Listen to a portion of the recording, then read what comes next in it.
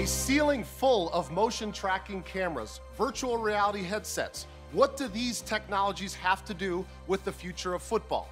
I'm Derek Rackley here at the Emory Sports Performance and Research Center, located right next to the Atlanta Falcons training facility, and we are going to discuss how these technologies are coming together to change the game.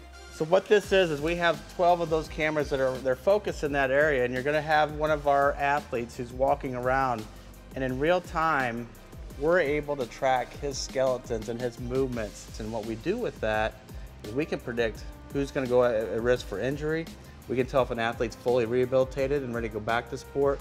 We have lots of tools at our disposal. All right, Derek, we're gonna get set you up in virtual reality, and, and some of the, the tools that we have here is why we have all these cameras going, and we can look at very precisely how your bones and how you're, you're loading your joints. There we go. Faster. Like this? Do I let go of the button? Yeah, Yep. release when you would release. There Oh, go. you made it. Yeah, you nailed it. All right, you got it. Nice. Got one.